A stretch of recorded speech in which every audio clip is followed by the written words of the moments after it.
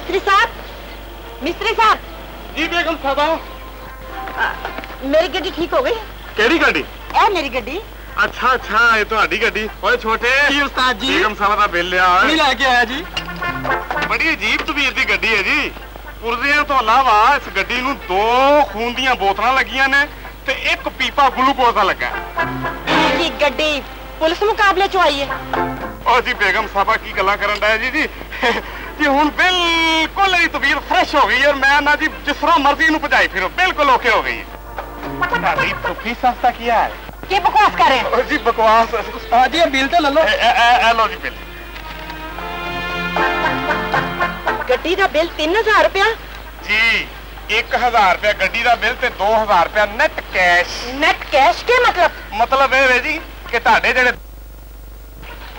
ਉਹ ਜੀ ਮੇਰਾ ਮਤਲਬ ਹੈ ਜੀ ਉਹ ਜਿਨ੍ਹਾਂ ਦੇ ਹੱਥ ਤੁਸੀਂ ਗੱਡੀ ਘੱਲੀ ਸੀ ਉਹ ਜੀ ਜਾਂਦਿਆਂ 2000 ਰੁਪਏ ਉਧਾਰ ਲੈ ਕੇ ਜਾਂਦੇ ਸਨ ਜੀ ਸਾਡੀ ਫੁੱਫੀ ਬਿਮਾਰ ਹੈ ਇਹਦਾ ਮਤਲਬ ਹੈ ਮੇਰੇ ਨਾਲ ਫਰਾਡ ਹੋ ਗਿਆ ਜੀ ਮੈਂ ਹੁਣੇ ਪੁਲਿਸ ਨੂੰ ਫੋਨ ਕਰਨੀ ਹੈ ਪਹਿਲੇ ਬਿੱਲ ਤੇ ਦੇ ਜਾਓ ਕੀ ਬਕਵਾਸ ਕਰ ਰਹੇ ਹੋ ਗੁੱਡੋ ਓ ਗੁੱਡੋ ਗੁੱਡੋ ਗੁੱਡੋ ਗੁੱਡੋ ਗੁੱਡੋ ਗੁੱਡੋ ਗੁੱਡੋ ਹੈ ਤੇ ਚਾਚਾ ਅੱਜ ਬੜੀ ਛੇਤੀ ਘਰ ਆ ਗਿਆ ਆਹੋ ਤੇ ਆਣਾ ਨਹੀਂ ਸੀ ਐ ਬੁਝਾ ਭਲਾ ਮੈਂ ਤੇਰਾ ਸਕੀ दे चाचा।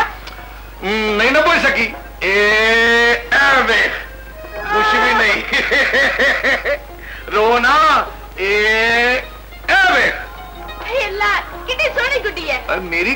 सोनी नहीं ना। मैं हाँ। क्या भतीजी चाचे गल हो रही अम्मी देखो चाचा मेरे वास्ते कितनी गुड्डी बड़ी प्यारी। हाँ? ते तेरे वास्ते एक सूट ते एक दुपट्टा।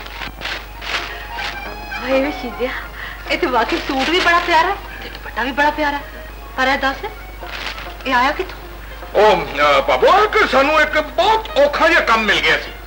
ਨੋ ਜੀ ਨਾ ਸਾਡੇ ਵਾਸਤੇ ਉਹ ਔਖਾ ਹੈ ਹੀ ਨਹੀਂ ਸੀ